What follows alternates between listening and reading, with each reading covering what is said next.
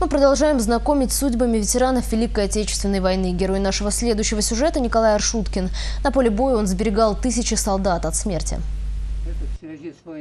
Николай Аршуткин родом из деревни Большие Яуши Вурнарского района. Когда 17-летний юноша учился в цивильской фельдшерской школе, началась война. Сан-инструктор Николай попал на Первый Белорусский фронт артиллерийского полка. Воевал вместе со связистами и разведчиками. Был практически на передовой. Николай Арсентьевич принимал участие в освобождении Белоруссии и Польши. Имеет медаль за отвагу, орден Красной Звезды и орден Отечественной войны второй степени. Среди родственников он единственный остался жив. Старший брат Алексей Алексей пропал без вести на Полтаве. Двоюродные братья тоже не вернулись с войны. Война осталась в памяти незаживающим шрамом.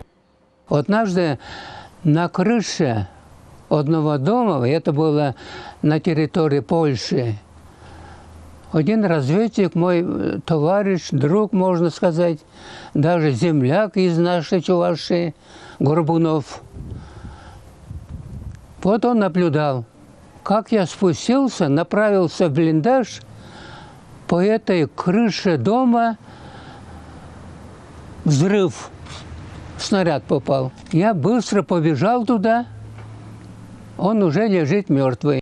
Всю послевоенную жизнь Николай Арсентьевич посвятил медицине. Окончил Казанский медицинский институт. До самой пенсии работал хирургом в больнице скорой медицинской помощи в городе Чебоксары. В прошлом году ветерану исполнилось 90 лет. Сейчас его часто навещают дети и внуки. Две дочери пошли по стопам отца и также работают врачами. Чтобы не было впредь войны, с такими словами ветеран встречает 70-летие победы над фашизмом. Анастасия Лангина, Сергей Рябчиков, Республика.